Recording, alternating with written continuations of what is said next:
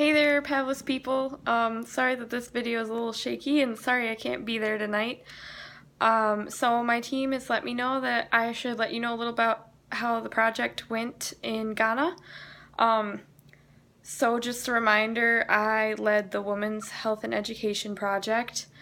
Um, I felt it went really well. It was really well received. Uh, so there were two main aspects to the project, one being the Diva Cups and one being the handmade menstrual pads. So um, the pads definitely went over the best. They were easy to understand how to make, um, easier to understand how to use.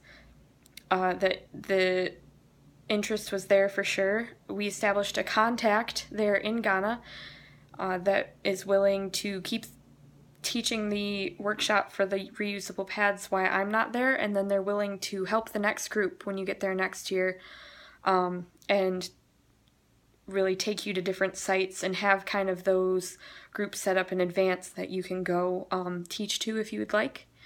Uh, so that contact's name is Solomon and his wife Georgina. They're really great. If you have questions about them, I'm sure the team um, can answer. Especially, I think Amanda and I spent most time with them out of everyone. So ask them if you want to know more about them specifically. But um, so they not only would like to continue the menstrual pad project with us, but they're looking at more women empowerment projects. They're really into that. Um, and so I have a contact in the U.S., Lynn Corker, who anything you want to know about women empowerment projects, um, she gave me the info for the menstrual pads, and she's more than willing to give you um, info for other like business related endeavor projects, things like that if if you'd like to expand it. So um, menstrual pads, I would say definitely continue next year. Um, definitely a need for it. Definitely expand on it. Uh, it was an awesome experience. Everywhere that we went, um, I asked beforehand and then after. Uh, I would ask if girls had missed school before because of not having access to pads or things. People were kind of not so willing to admit that, understandably.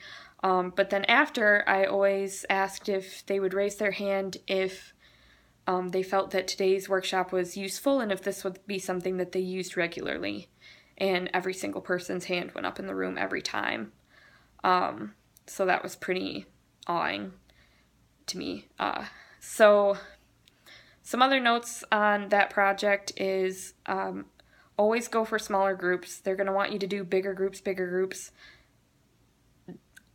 I wouldn't do more than 30 people at a time. It it makes it kind of difficult to teach a really a really large group and we ended up getting mobbed at one point.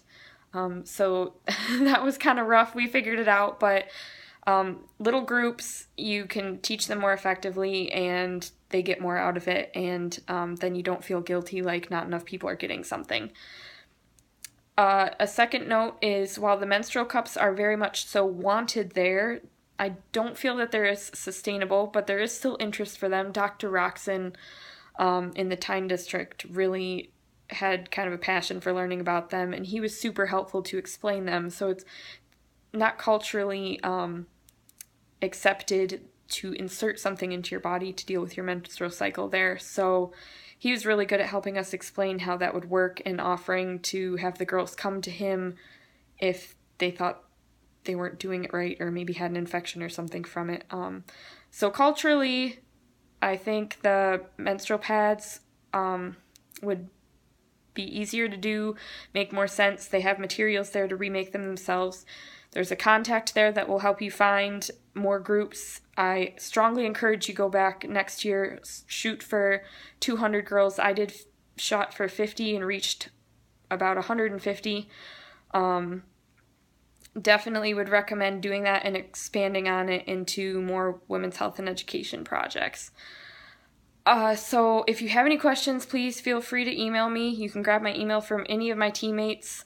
Um, and or you can call me if you want. Um, I'm happy to talk on the phone anytime. I get off work about 5 o'clock Central Time, so 6 o'clock your time there in Houghton, and I'm more than happy to help and offer any of my knowledge on any of this. So thanks. Sorry again that I couldn't be there, and I'll hopefully hear from some of you guys soon. Bye.